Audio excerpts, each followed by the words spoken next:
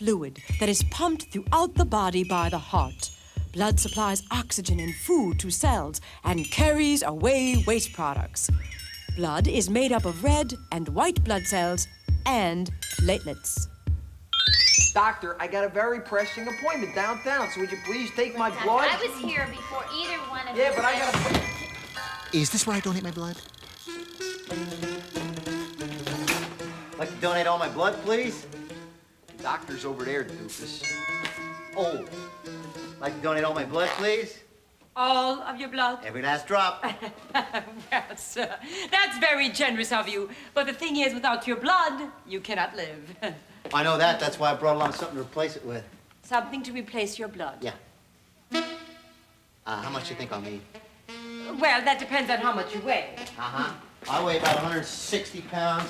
Then you have approximately five quarts of blood in your body. Great, because I brought along five quarts of ginger ale. Ginger ale? Ginger ale? Yeah. Sir, you cannot replace your blood with soda. Why not?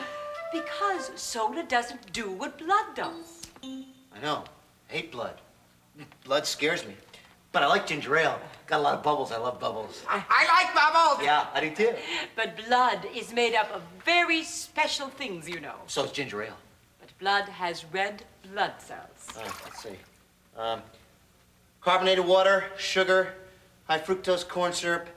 No, no red blood cells. But but do I really need those red blood cells? I mean, are they that important? Yes, they are very important. Red blood cells help to carry the oxygen you breathe to the rest of your body, and they help remove waste products. Now, that is very important, and no soda can do that. No, soda can do that. What about tomato ketchup? Uh, uh, that that must have a lot of red blood cells in it. Uh, no, there are no red blood cells in ketchup, and blood has white blood cells, too. Oh.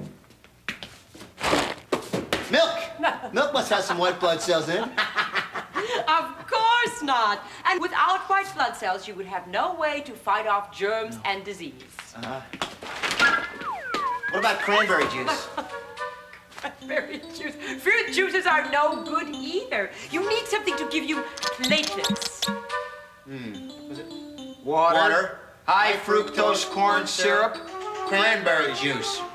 No platelets. No, no, no. And without platelets, when you get a cut, you would never stop bleeding. Ow. Platelets stick together. They help the blood to clot. They help form scabs. scabs.